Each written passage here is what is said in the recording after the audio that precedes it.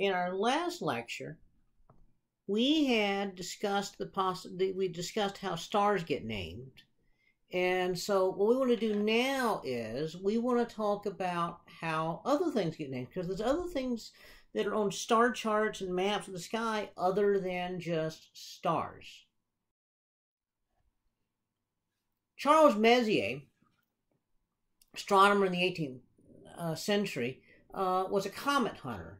And so he was searching for comets. Most comets look like little small, fuzzy things in the sky. They don't really look like when you think of a comet as a big ball with a big, huge tail. Most comets just look like barely visible little smudges.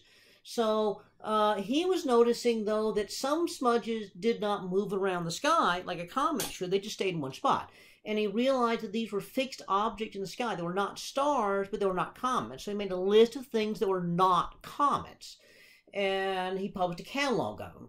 Uh, his catalog uh, of things not comets we call the Messier catalog. and so we label things the Messier catalog by which one they are. So Messier 1 is the first thing in Messier catalog. Then Messier 2, Messier 3, you know, uh, Messier 9, Messier 10, and so forth, you know. Uh, so Messier 10, Messier 11, and, and whatnot. Uh, uh, some of these things are famous objects. Messier uh, number 13 is a famous globular cluster. Uh, uh, I guess that's Messier 13 right there. Uh, M13 we call M, you know, because the, the just parts of Messier. So M13, M57 is a cloud of gas given off when a star like the sun died, and then we have M. Uh, 31, that's the Andromeda Galaxy. M51 is actually a galaxy that's eating its companion galaxy right there. Uh, we have M42, that's the Orion Nebula. M45, that's the Pleiades. Uh, so there's a variety of different kinds of objects that are out here.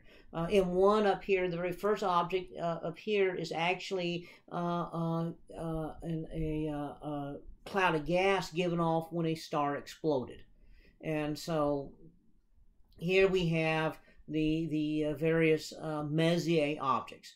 Well, the thing is, once he, you know, got he had got to 109 objects and then he died, his companion Pierre Méchain added one more object, Messier 110, to the end there to round out his catalog because Messier had seen it, just hadn't got around to publishing it before he died.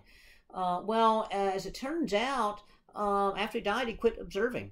Uh, well, yeah, okay. So, um, better later astronomers found so William Herschel comes along and he makes what he calls the general catalog of non-stellar objects.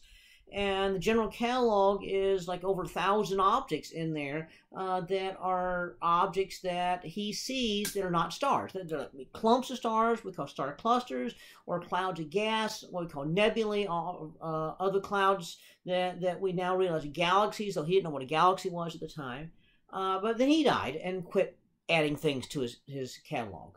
Uh, by the end of the 19th century,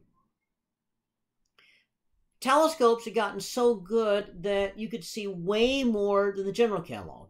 So, uh, a fellow named Dreyer down here, uh, Johann Dreyer, establishes what we now call the New General Catalog, or NGC. And the NGC catalog has close to 10,000 objects listed in it.